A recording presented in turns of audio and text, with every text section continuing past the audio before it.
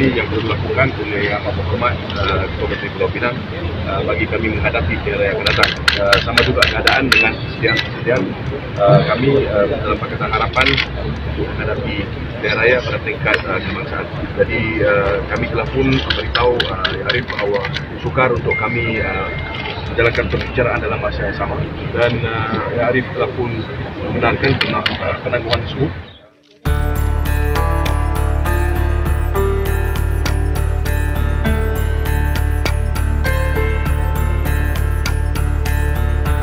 bersedia.